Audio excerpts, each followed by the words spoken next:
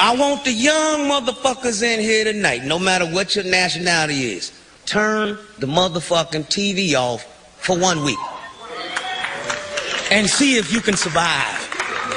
Motherfuckers are going to a television junkie motherfucking mode. Ain't no TV. I need my remote, nigga. I'm Jones. It's called television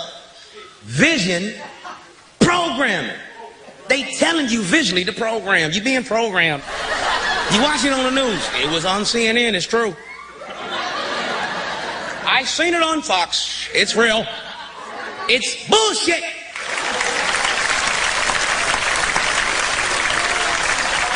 You know Obama ain't running shit. Puppet on the string. That nigga ran for office and said, I'm gonna stop both wars.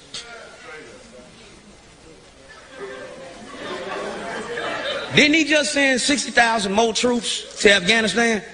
He took them out of Iraq. Them niggas thought they was going home. Shit, nigga, the war over. We going home. He like, nope, over there.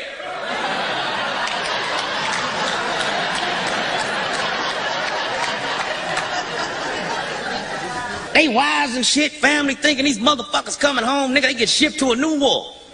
And you know these wars is about what? Money, money, money, money. Now, Iraq, we annexed that country. You know, took the oil, nigga. Now, one thing you know about American motherfucking history, wherever we land, we don't leave.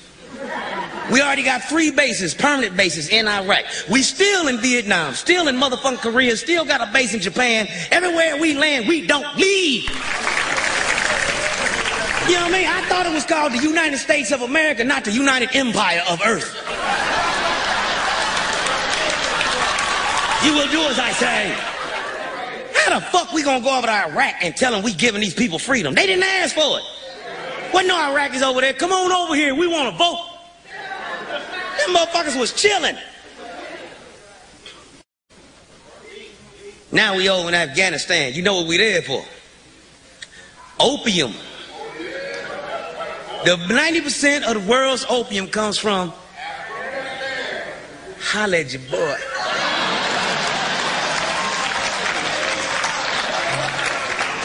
Now, in the Buddhist religion, they smoke opium.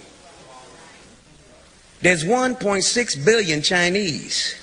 In order to control China, you must control opium. China owns 90% of our debt. Welcome to China. Learn the language, ni hao ma.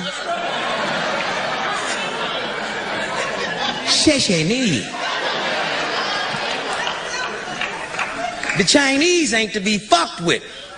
One Bruce Lee would fuck up this whole room. 1.6 billion Bruce Lees? Nigga, leave him alone. Oh, America know who to attack. You ain't never seen them go fuck with China. Remember, China had one of our motherfuckers ten, as students in Tiananmen Square beating the shit out of him on national television with a bamboo motherfucking stick. Did America go and attack? Nope. You know what they said? What is he doing over there? Somebody get his parents on the phone.